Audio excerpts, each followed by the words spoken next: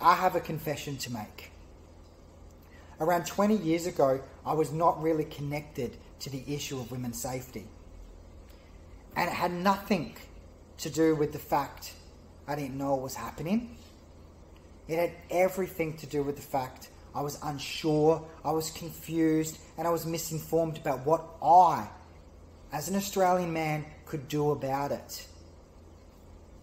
And now we know how critical it is that Australian boys, young men, and blokes are connected to the issue of women's safety. Because women's safety is a men's issue. In recent years, we've seen a real dramatic and positive shift in our policies, practices, and in our culture that is highlighting the grotesque acts that some individuals choose to be violent, disrespectful, and abusive towards women and children. We know it is happening. We hear the stories, we watch it on the news, we see it unfold in our workplaces and yet, the situation is remaining the same.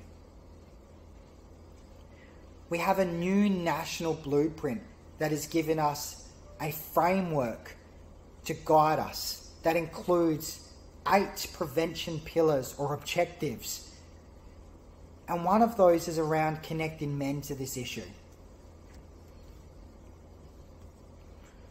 We know particularly that men have a voice, that men have agency, and that men have the power and the conviction to want to make things better.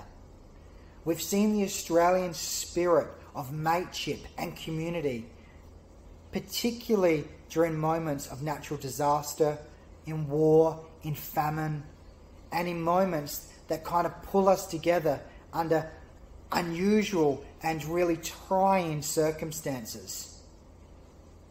And this year for White Ribbon Day, we're not telling you that violence against women is an issue. We know that. What we're asking Australians to do is to tap into that sense of community and mateship and do something about being the change. Men across Australia, we're calling you in. We're not calling you out because we know that we can't just shame and legislate our way from this problem. We need to connect men by showing men that they've got a role to play. White Ribbon Day is just one day out of the year. We all must act in every moment, in every interaction, and in every experience to uphold not just virtues of kindness, compassion, and love. We must do that in every single moment of our days. Violence against women and children is a social problem, and it is something that we can fix. The federal government has set an aspirational target, and hey, we've got to get behind it. We can end this in a generation. We must end this in a generation. There's no other option. And we can only do that when we work together.